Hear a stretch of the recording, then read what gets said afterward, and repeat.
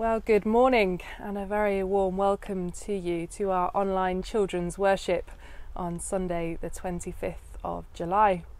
It's hard to believe that the end of another school year is upon us, and I wonder what you will take away from this last year.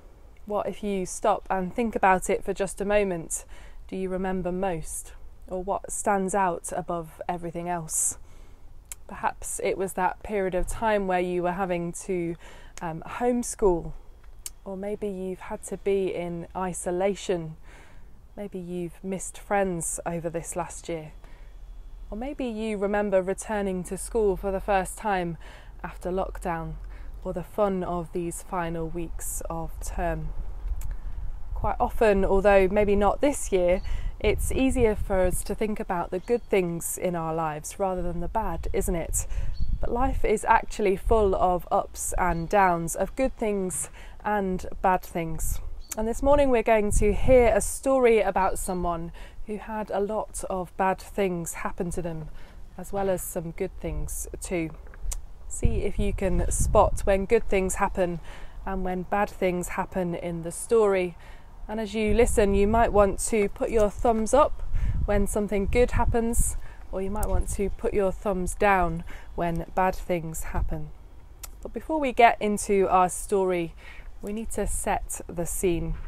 For our story takes place in a place called Bethlehem. What, I wonder, do we already know about Bethlehem?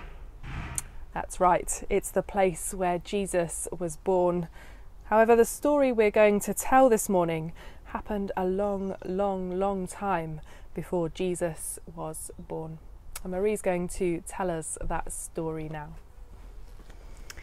A lady called Naomi lived in a town called Bethlehem with her husband, who was called Elimelech, and her two sons, Mahlon and Chilion. Now Bethlehem was in the land of Judah, the land where the Israelites had lived after their time as slaves in Egypt. And it was a place where everyone usually had plenty to eat. Unfortunately, one day there was a famine in that land, so there was no food growing and nothing to eat. No rain fell, and the crops didn't grow, and there wasn't enough food to go round. The people were very hungry. Elimelech decided to leave Bethlehem and take his family a long way to a country called Moab, where there was no famine and there was plenty of food for everyone. Sadly, not long after they reached Moab, Naomi's husband Elimelech died. So Naomi was left with her two sons, Mahlon and Chilion. These two boys decided to get married when they were old enough to two Moabite girls, whose names were Ruth and Orpah. After a few years of living happily in Moab, Mahlon and Chilion both died, leaving Naomi without her husband and without her two sons. After a while, Naomi decided that it was time to return to her town of Bethlehem. She had heard that things had improved there and the famine was over, so there was enough food to eat. When Naomi told her two daughters in law that she was returning to Bethlehem, they decided to go with her. But as they were about to leave Moab, Naomi stopped she turned to her daughters in law and said to them, Why come with me, girls? You'd be much better off to stay in Moab. Your family's here, and you are young. You could get married again. Really, I think you should turn around and go back to Moab and leave me to return to Bethlehem on my own.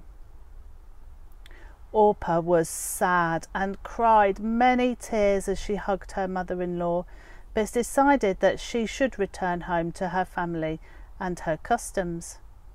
Ruth, however, clung to Naomi.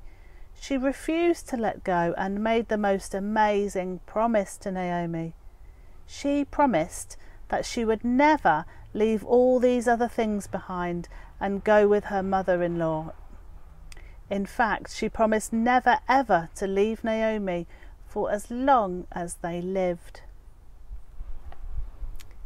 Did you spot the good and the bad things that happened in that story? How do you think Naomi felt? Sometimes sad things happen in our world and in our lives, and it seems as though God is far away and doesn't care about us. Something we've perhaps experienced this year more than ever before. But what we learn from our story is that even though that's how it must have felt for Naomi, Ruth stayed with Naomi. And in doing so, God showed her just how much He cared for and how He is always with her, even when, and perhaps especially when, things are difficult. And that's the message we wanted to share with you today as you prepare to finish another year at school and have a break over the summer holidays. Whatever this year has been like for you, God has been with you, and He will continue to be with you through the summer and into the next school year and beyond.